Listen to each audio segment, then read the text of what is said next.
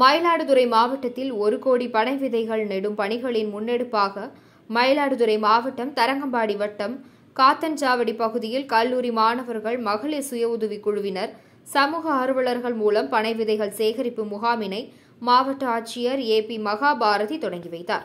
இந்நிகழ்ச்சியில் மாவட்ட ஆட்சியர் மகாபாரதி கலந்து கொண்டு தெரிவித்தபோது நுங்குவிற்கு இணையாக ஏதும் இல்லை. பனைக்கிழங்கும் நாம் உண்ணலாம்.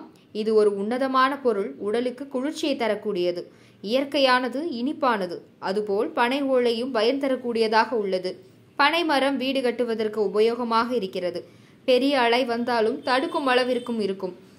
கடந்த ஆண்டு அரசின் நடவடிக்கையால் அறுபத்தி ஐந்து லட்சம் பனை மரங்கள் நட்டு உள்ளனர். இது இருபத்தி ஐந்து வருடங்களுக்கு பிறகு நமக்கு பிறகும் வரும் சந்ததியர்களுக்கு உபயோகமாக இருக்கும்.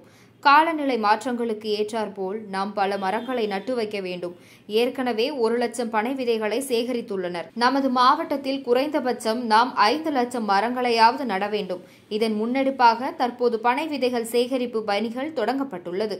இப்பணிகள் நாட்டு நலப் பணித்திட்ட மாணவர்கள் மகளிர் சுய உதவிக்குழு உறுப்பினர்கள் தன்னார்வலர்கள் ஈடுபடுத்தப்பட்டுள்ளனர் என மாவட்ட ஆட்சியர் மகாபாரதி தெரிவித்தார்.